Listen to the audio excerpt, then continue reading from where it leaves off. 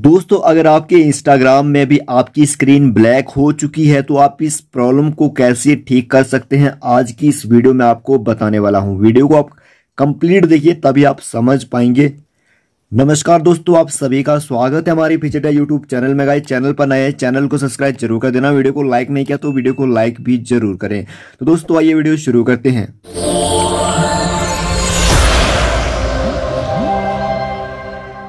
दोस्तों, जैसे आप यहाँ सामने देख सकते हैं, यहाँ पर ये मेरे पास इंस्टाग्राम है, ठीक है? अगर आपके इंस्टाग्राम की स्क्रीन भी ब्लैक हो चुकी है, जैसे आप ओपन कर रहे हो ब्लैक स्क्रीन आ रहा है तो सबसे पहले आपको इसे ठीक करने के लिए क्या करना होगा? सबसे पहले आपको प्ले स्टोर पर जाना है। प्ले स्टोर पर यहाँ पर सर्च बार में टाइप करना है इंस्टाग्राम ठीक है? यहाँ पर आपने सर्च कर देना है इंस्टाग्राम सबसे पहले यहाँ पर देख लेना है कि जो आपका इंस्टाग्राम है, वो अपडेट है या नहीं है, ठीक है? अगर आपका इंस्टाग्राम अपडेट है, अब आपने यहाँ पर बैक आ जाना है। बैक आने के बाद आपने अपने फ़ोन की सेटिंग में जाना है।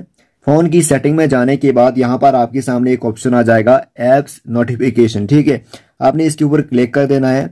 क्लिक करने के बाद सी ऑल एप्स के ऑप्शन पर क्लिक करना है। जैसे क्लिक करेंगे, यहाँ पर अब आपने नीचे आ जाना है। नीचे आने के बाद यहाँ पर आपके सामने एक ऑप्शन आ जाएगा इंस्टाग्राम का, ठीक है? आपने इसके ऊपर क्लिक कर देना है। क्लिक करने के बाद अब यहाँ पर आपके सामने एक ऑप्शन आ जाएगा परमिशन का, ठीक है? आपने इसके ऊपर क्लिक करना है। क्लिक करने के बाद यहाँ पर आपने इन्हें सबको परमिशन दे देनी है। यहाँ पर कैमरा है कॉन्टैक्ट है। आपने इसको परमिशन दे देनी है और यहाँ पर फाइल्स है। ठीक है, आपने इन सभी को परमिशन देनी है। लोकेशन है माइक्रोफोन है, ठीक है। तो और नीचे यहाँ पर आपके सामने एक और भी है फ़ोन ठीक है। आपने इसे परमिशन देनी है यहाँ पर।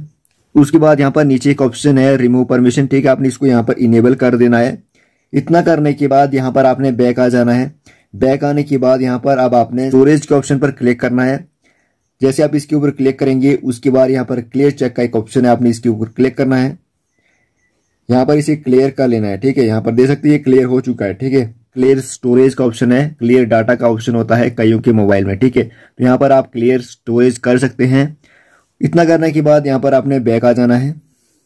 बैक आने के बाद अब आपके इंस्टाग्राम की प्रॉब्लम सॉल्व हो चुकी होगी।